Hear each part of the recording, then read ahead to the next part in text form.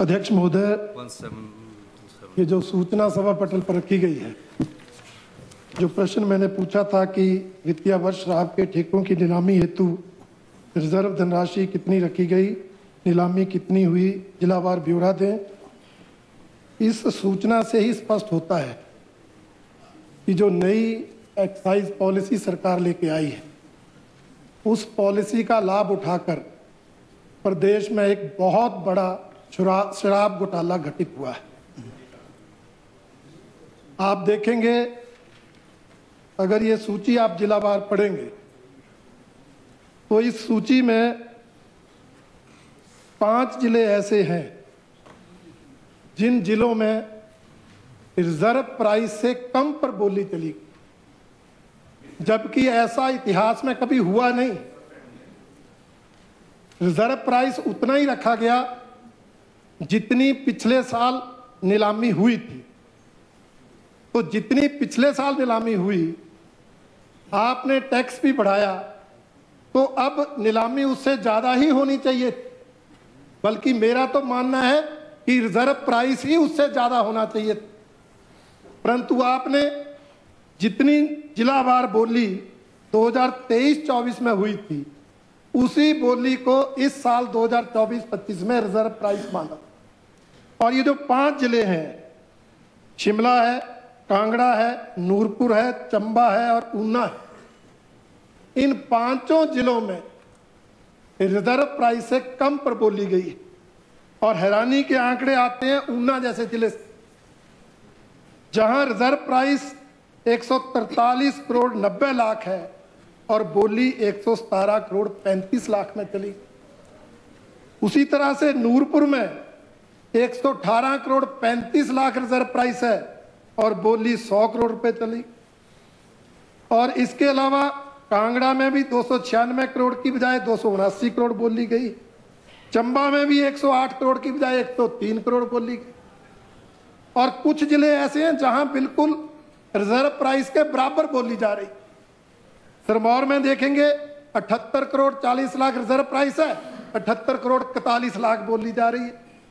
आप इसी तरह से, ये हमारा बिलासपुर जिला है 90 करोड़ उनहत्तर लाख तो 90 करोड़ उनासी लाख में बोली जा रही है।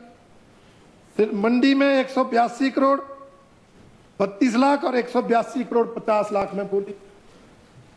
बिल्कुल इसमें घोटाले की बू आ रही है, और मिली भक्त है, यही नहीं जब इसी प्रश्न में यह भी पूछा गया कि 2023-24 में जो यूनिट्स बने जिला और 2024-25 में क्या यूनिट्स रखे तो उससे भी स्पष्ट होता है कि जो यूनिट का गठन किया गया और शराब के ठेकेदारों को लाभ देने के लिए किया गया। सिरमौर जिला में पाँच यूनिट थे। इस बार आपने एक यूनिट कर दिया। एक ही ठेकेदार पूरा ज़िले में शराब बेचेगा ज़्यादा ठेकेदार होते हैं कंपटीशन होता है कुछ होता है। आपने मंडी में आठ यूनिट थे, एक यूनिट कर दिया। बिलासपुर में पाँच के दो कर दिए, नूरपुर में पाँच का एक कर दिया, ऊना में ग्यारह के दस कर दिए, चंबा में ग्यारह का एक कर दिया।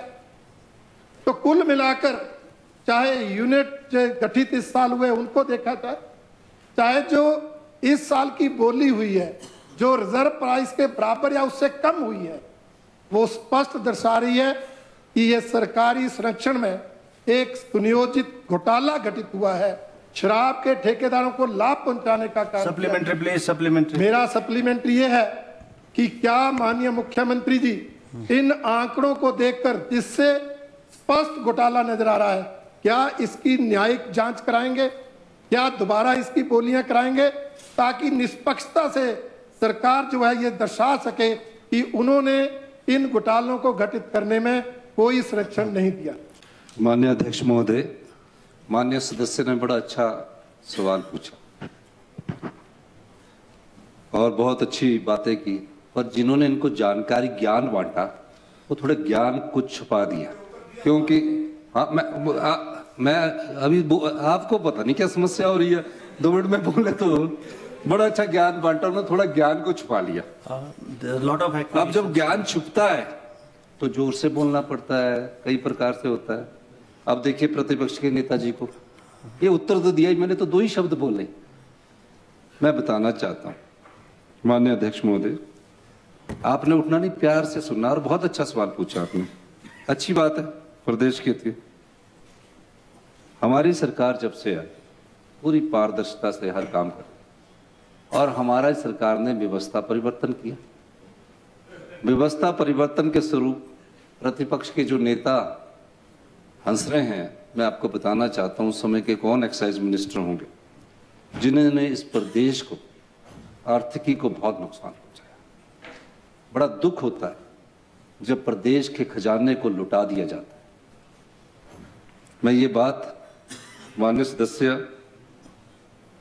नीलामी और निविदा प्रक्रिया वर्ष में, जो आपके समय होती थी, पाँच चार वर्ष आपने चार बरस ठेकों को रिन्यू किया। कौन एक्साइज मिनिस्टर थे? आप उनसे जानकारी ज़रूर लेना। ये ले। अभी आप बोल रहे तो, तो मैंने यही कहा थोड़ा सहनशीलता। आपने अच्छा सवाल पूछा। आप बोल रहा हूँ ना आप सुन रहा हूँ। मैं आपने बोला ना आपने घोटाला बोला। ये घोटालों का जवाब दे रहे हैं घोटाला। भाई घोटाला शब्द का जवाब तो ले लो आप। घोटा- घोटालों का जवाब। घोटाला का तो घोटा घोटाला शब्द बोला ना उसका जवाब ले लो ना। घोटाला शब्द का जवाब ले लो.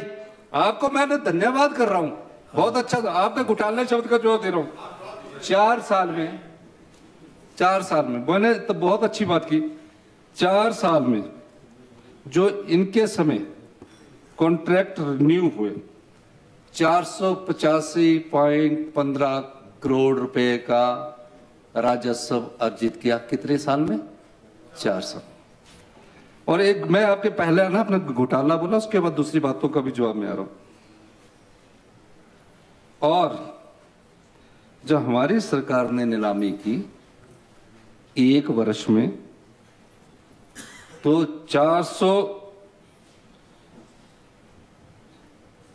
50 करोड़ रुपए की बढ़त हुई, एक साल में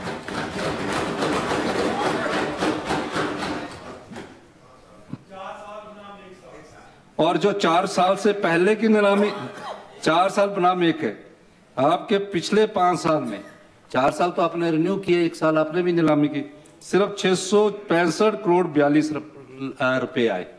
छह सौ पैंसठ करोड़ बयालीस रुपए आए। पाँच साल में छह सौ पैंसठ करोड़ पे बयाली हुए। ये मैं रणधीर जी, जो महाघोटाला होता रहा हूँ और हमारी एक साल में ये चार सौ पचासी पॉइंट अठारह करोड़ रुपया। ठीक है। अब आपकी दूसरी बातें हैं। जो शराब के ठेकों की नीलामी कई प्रकार से की जाती है। जैसे पहले साल इन्होंने की उसके बाद चार साल इन्होंने किया। जब हमारे पास पॉलिसी की बात आई, क्योंकि पिछले साल जब नीलामी हुई, काफ़ी ज़्यादा रिज़र्व प्राइस चला गया। और जब रिज़र्व प्राइस चला गया तो हमने शराब की ठेकों की नीलामी की। और बिल्कुल पारदर्शिता जब नीलामी होती है, कोई उसमें कुछ नहीं कर सकता ये प्रक्रिया, कोई ये नहीं कि दो दिन के अंदर टेंडर बंद कर दी जाते ये प्रक्रिया तीन मार्च से शुरू होती है, ऑनलाइन शुरू होती है, रेट डिपिक्ट कर दिए जाते हैं, रेट डाल दिए जाते हैं और इकतीस मार्च तक लगातार की जाती रिज़र्व प्राइस को भी पिछले साल की तुलना में देखकर रखा जाता कि किस ठेके में कितनी होनी है। ये मैं आपको ये कहना चाह रहा हूँ। और दूसरी बात, हमने मैक्सिमम पार्टिसिपेट पार्टिसिपेशन करवाई नेशनल लेवल के अखबारों में, व्यापक पब्लिसिटी की गई। और इससे भी इस जो नीलामी हुई है, जब पूरे प्रदेश की नीलामी होती है तो कोई ठेकेदार सारी जगह नहीं होते। कुछ ठेकों में रिज़र्व प्राइस से ज़्यादा आती है। रिज़र्व प्राइस को भी कैलकुलेट सात या आठ परसेंट की इन्फ्लेशन के साथ रिज़र्व प्राइस रखा जाता है। पिछले साल का रिज़र्व प्राइस नहीं है ये। वो कम भी हो सकता है और ज़्यादा भी हो सकता है। या स, और उसके बाद जो इस फाइनेंशियल ईयर में हमारी रेवेन्यू ग्रोथ हुई है वो अच्छी हो रही है। अभी के क्वार्टरली में। नूरपुर में जो आप कह रहे थे सात बार ऑप्शन किया गया उन्ना में सात बार ऑप्शन किया गया। क्योंकि पिछली बार उन्होंने उसमें ज़्यादा रेट डाल दिया था, इसलिए वहाँ कॉन्ट्रैक्टर ही नहीं आ रहे थे। चंबा में छह बार किया गया, कांगड़ा में आठ बार किया गया, शिमला में नौ बार किया गया। ये नौ बार करने के बाद तभी इस रिप्लाई में हमने आपको स्पष्टता से बताया। तो इस प्रकार की नीलामी से अभी हमारे अगले साल भी हमें रेवेन्यू बढ़ने की बहुत अधिक संभावना है। पूरे हिमाचल प्रदेश के रेवेन्यू को यूनिट मानकर राजस्व अर्जित किया जाता है। तो ये जो महा घोटाला हुआ है जिस भी एक्साइज मिनिस्टर ने किया, जो रणधीर जी बोल रहे हैं, हमारे हमारे यहाँ सरकार में घोटाला नहीं है, व्यवस्था परिवर्तन से हम आत्मनिर्भर हिमाचल की ओर जा रहे हैं। मैं आपको दावे के साथ कह सकता हूँ, जहाँ भी कम प्राइस आया है, पूरी स्टेट का जब हम राजस्व एकत्रित करके देखेंगे तो इसमें वृद्धि होगी, पारदर्शिता हमारी सरकार का प्रमुख अंग है। अध्यक्ष महोदय, माननीय मुख्यमंत्री जी ने बड़ी चतुराई से पिछली सरकार के आंकड़ों की ज़िक्र किया है। नहीं चुतराई से नहीं। परंतु आप अगर अपनी ही सरकार आप अपनी ही सरकार के 200 2023-24 के नीलामी के आंकड़े और अपने ही 2024-25 के आंकड़ों की तुलना करेंगे तो कम से कम 100 करोड़ रुपए की कमी है। 100 करोड़ रुपए की कमी है। अध्यक्ष महोदय घोटाला घटा है। इसमें कोई शक नहीं है। ये मिली भगत से हुआ है।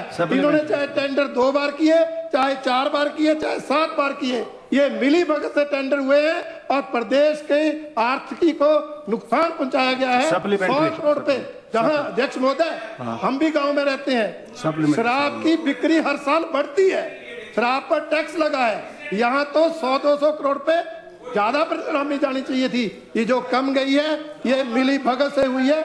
इसकी जाँच हाँ, की मांग हम करते हैं जाँच होनी चाहिए। दूसरा एक और सप्लीमेंट्री चलो। कि जो शराब के है, ठेकेदार जवाब नहीं आना फिर जो शराब के ठेकेदार जो प्राइस पोर्टल पर लिखा गया है उससे ज़्यादा प्राइस ले रहे हैं। सरकार के ध्यान में वो विषय लाए गए हैं। सरकार ने अभी तक कोई कार्रवाई नहीं की। क्या मुख्यमंत्री जी आश्वासन देंगे कि ऐसे ठेकेदार जो रिटर्न प्राइस से ज़्यादा कीमत ले रहे हैं उन पर कार्रवाई करेंगे। मान्य मान्य मुख्यमंत्री महोदय माननीय अध्यक्ष महोदय, वो ठीक है। नहीं नहीं, माननीय अध्यक्ष महोदय, ये जो घोटाला हुआ है ना, ये जो ये जो घोटाले की बात कर रहे हैं, इस घोटाले की पूरी जहाँ आपको होगी, आप हमको लिख के देना। ये जो घोटाला 500 करोड़ रुपए हम कमा के दे रहे हैं हमारी है। हमारी क्षमता है आपको एक और मैं बताऊँ। इस बार भी ऑक्शन से, इस बार भी ऑक्शन से डेढ़ सौ करोड़ रुपए का ज़्यादा राजस्व आने की संभावना है। और भैया आप ही सुन। प्लीज़ प्लीज़ और माननीय अध्यक्ष महोदय? Let him reply let him reply please let him reply let him reply I am not allowing please माननीय let reply let him reply पहले जवाब तो देने दो।